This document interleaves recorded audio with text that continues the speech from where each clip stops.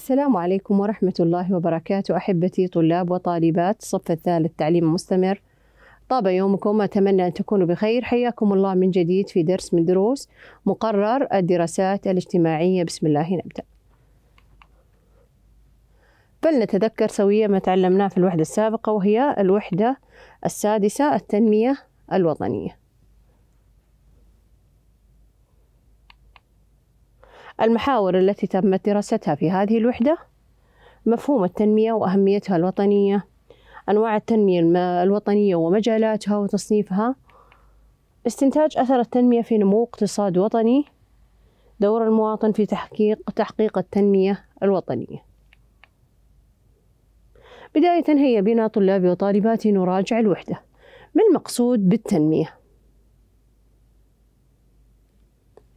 أحسنتم؟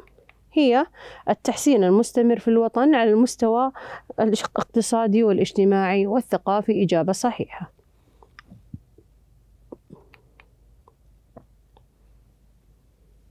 عددوا عددي مجالات التنمية. أحسنتم التنمية البشرية والتنمية الاقتصادية.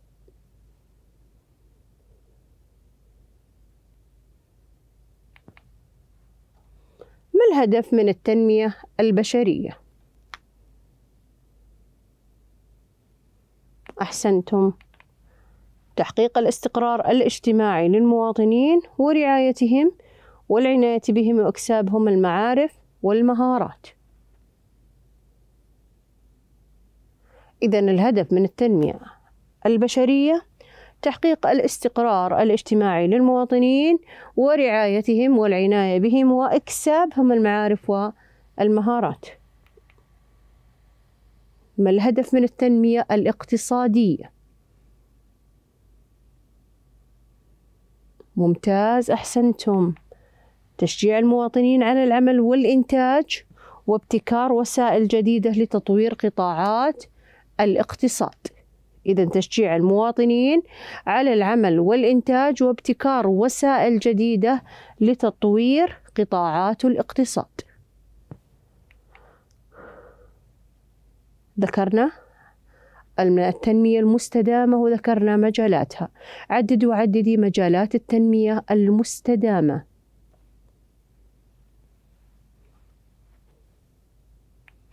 أحسنتم. واحد تلبية احتياج احتياجات الناس بانتظام. ترشيد استهلاك الموارد والثروات الطبيعية لتلبية احتياجات الأجيال القادمة. تطوير الاقتصاد برؤية مستقبلية. تنمية الموارد والثروات الطبيعية لاستثمارها في المستقبل. خدمة المجتمع وحماية أفراده وتأهيلهم للمستقبل.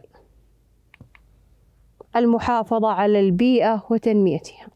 إذا مجالات أبرز مجالات التنمية المستدامة تلبية احتياجات الناس بانتظام، ترشيد استهلاك الموارد والثروات الطبيعية لتلبية احتياجات الأجيال القادمة، تطوير الاقتصاد برؤية مستقبلية، تنمية الموارد والثروات الطبيعية لماذا؟ لاستثمارها في المستقبل.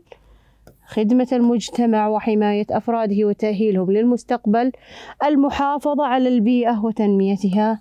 هذه أبرز مجالات التنمية المستدامة. تعرفنا على التنمية الصحية. ما المقصود بالتنمية الصحية؟ أحسنتم هي العناية بصحة أفراد المجتمع من خلال مجموعة من البرامج والمشروعات والمبادرات التي تنفذها وزارة الصحة وعدد من الجهات الأخرى. إذا التنمية الصحية هي العناية بصحة أفراد المجتمع من خلال مجموعة من البرامج والمشروعات والمبادرات التي تنفذها وزارة الصحة وعدد من الجهات الأخرى.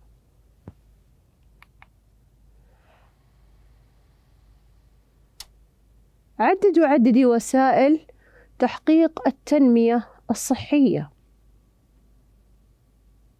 ممتاز. المستشفيات والمدن الطبية. الخدمات الصحية العلاجية والوقائية للحجاج. التحسينات اللازمة ضد الأمراض المعدية. زراعة الأعضاء والتقنية التنقية الدموية. مراكز الرعاية الصحية الأولية. الخدمات الإسعافية والطوارئ الصحة الإلكترونية وخدمة الاتصال. إذا هذه أبرز وسائل تحقيق التنمية الصحية. المستشفيات والمدن الطبية الخدمات الصحية العلاجية والوقائية للحجاج التحسينات اللازمة ضد الأمراض المعدية زراعة الأعضاء والتنقية الدموية مراكز الرعاية الصحية الأولية الخدمات الإسعافية والطوارئ الصحة الإلكترونية وخدمة الاتصال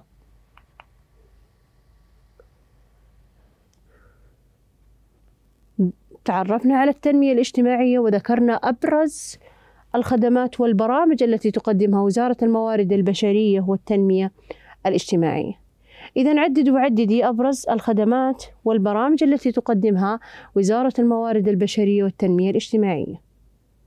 أحسنتم المعاشات الضمانية، الحماية الاجتماعية، رعاية الأحداث، رعاية ذوي الإعاقة رعاية الأيتام ست الإرشاد الأسري رعاية المسنين. إذا أبرز الخدمات والبرامج التي تقدمها وزارة الموارد البشرية والتنمية الاجتماعية المعاشات الضمانية الحماية الاجتماعية رعاية الأحداث رعاية ذوي الإعاقة رعاية الأيتام الإرشاد الأسري رعاية المسنين. وذك تعرفنا على بنك التنمية الاجتماعي ماذا يقصد ببنك التنمية الاجتماعي؟ بنك التنمية الاجتماعية. ماذا يقصد ببنك التنمية الاجتماعية؟ أحسنتم هو بنك حكومي يقدم عدد من منتجات التمويل الاجتماعي الموجهة إلى ذوي الدخل المنخفض ويتيح فرصة الحصول على تمويل ميسر. هذا التمويل يمكنهم من مواجهة بعض الالتزامات الناشئة عن احتياجاتهم الأساسية سواء للفرد أو الأسرة. إذا بنك التنمية الاجتماعية هو بنك حكومي يقدد عد يقدم عددا من منتجات التمويل الاجتماعي الموجهة إلى ذوي الدخل المنخفض. ويتيح فرصة الحصول على تمويل ميسر يمكنهم من مواجهة بعض الالتزامات الناشئة عن احتياجاتهم الأساسية سواء للفرد أو الأسرة. انتهينا من مراجعة الوحدة طلابي وطالباتي. ننتقل الآن إلى حل تقويم الوحدة السادسة التنمية الوطنية. بدءا بالنشاط الأول.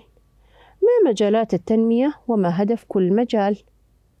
ما مجالات التنمية وما هدف كل مجال؟ مجالات التنمية التنمية البشرية والاقتصادية.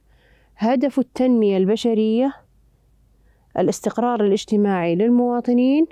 ورعايتهم أحسنتم والعناية بهم وإكسابهم المعارف والمهارات أيضا المجال الثاني التنمية الاقتصادية وهدفه تشجيع المواطنين على العمل والإنتاج والابتكار وسائل جديدة لتطوير قطاعات الاقتصاد. إذا مجالات التنمية التنمية البشرية والتنمية الاقتصادية. هدف التنمية البشرية تحقيق الاستقرار الاجتماعي للمواطنين ورعايتهم والعناية بهم وإكسابهم من المعارف والمهارات. بينما هدف التنمية الاقتصادية تشجيع المواطنين على العمل والإنتاج وابتكار وسائل جديدة تطور آه، جديدة لتطوير قطاعات الاقتصاد. هل انتهيتم؟ ننتقل للنشاط الذي يليه.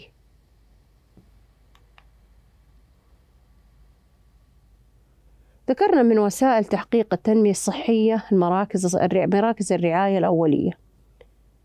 النشاط يقول: ما الخدمات التي تقدمها مراكز الرعاية الصحية الأولية؟ ما الخدمات التي تقدمها مراكز الرعاية الصحية الأولية؟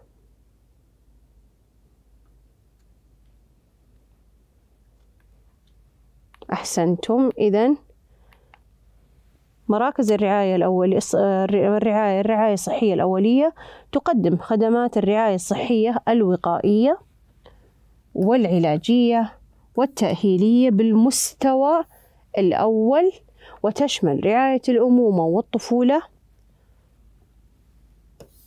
وتشخيص الربو وعلاجه ومكافحة الأمراض التنفسية ورعاية مرضى الأمراض المزمنة. إذا الخدمات التي تقدمها مراكز الرعاية الصحية الأولية تقدم الخدمات الصحية خدمات الرعاية الصحية الوقائية والعلاجية والتأهيلية بالمستوى الأول.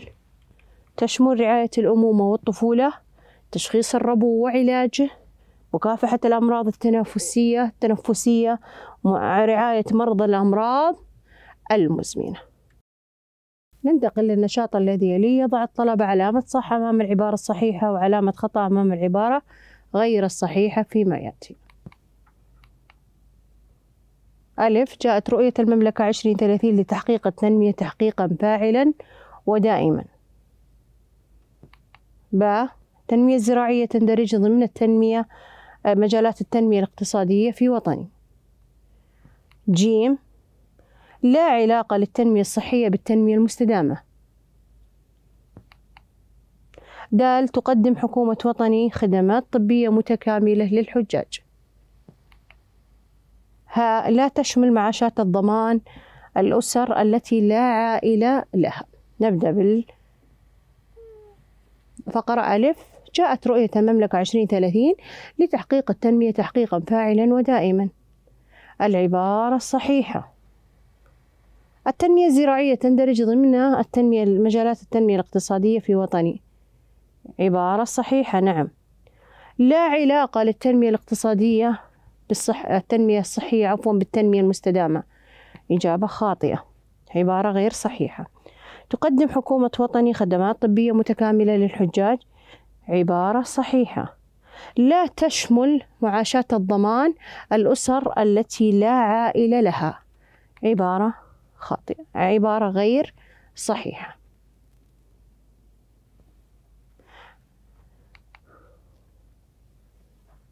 طلابي وطالباتي بهذا النشاط أصل وإياكم إلى نهاية درسنا لهذا اليوم تقويم الوحدة السادسة التنمية الوطنية.